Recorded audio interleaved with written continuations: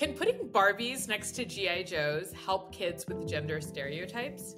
For decades, toy stores have been separated into pink and blue sections. The pink section for girls is full of baby dolls and pretend kitchens and Barbies.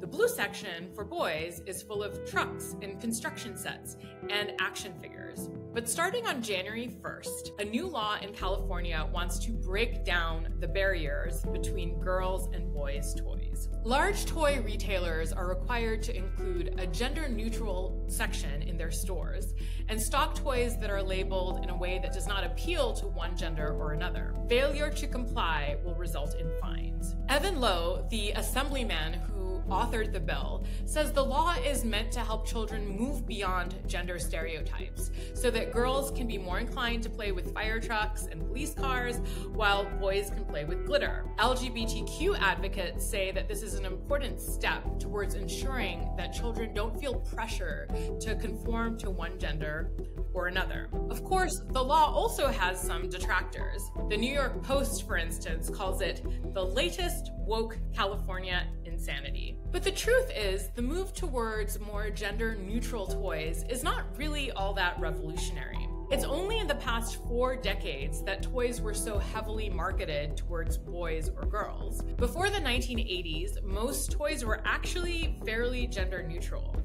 Kids played with things like Play Doh and Mr. Potato Head and yo yo's and wooden toys that you could pull on a string. Of course, there were also dolls and soldiers, but by and large, boys and girls were playing with each other's toys. In the 1980s, it became clear to toy companies that they could make more money by painting them pink or blue. Some scholars also say that the shift towards gendering toys coincided with broader cultural and societal changes. More women were going into the workplace, and that changed the gender dynamics at home.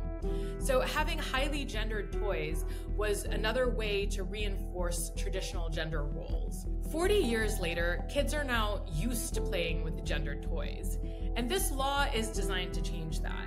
But some experts believe that it could take time for kids to want to play with toys that aren't clearly marked for boys or girls. So, what do you think of this new law? Do you think that removing gendered toys is ultimately a positive step?